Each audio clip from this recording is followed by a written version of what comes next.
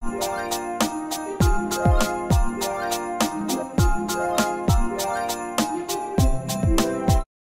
guys, welcome back to my channel. If you're new, please like, subscribe, comment down below your favorite part of the video. And today I'm going to be showing you guys how I make my aesthetic videos for the aesthetic account, which will always be in the description of this Vlogmas. So this is Vlogmas Day 3. I am so, so, so, so, so extremely sorry for be posting this video in day 4, but I promise the video will be up today. So I hope you guys like this video and let's get started on how to make aesthetic videos aesthetic. Okay guys, so to make this you're gonna have to need color tone and prequel. So first you wanna start off by picking your photo or video and you wanna go ahead and click that and then click import.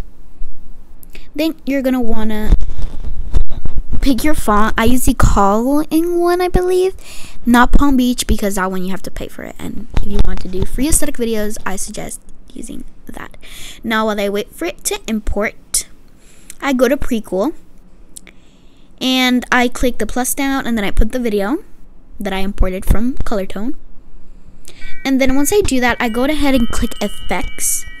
And then I go ahead and look for the Stardust ones. There are so many others, like right here, I'm showing you the widget one. And there are so many cool, awesome filters for your videos. Next, I'm going to be importing it. And then while I'm importing it, I just wait and wait and wait until it imports. It doesn't really take that long. It takes about, I would say, a minute or even 30 seconds.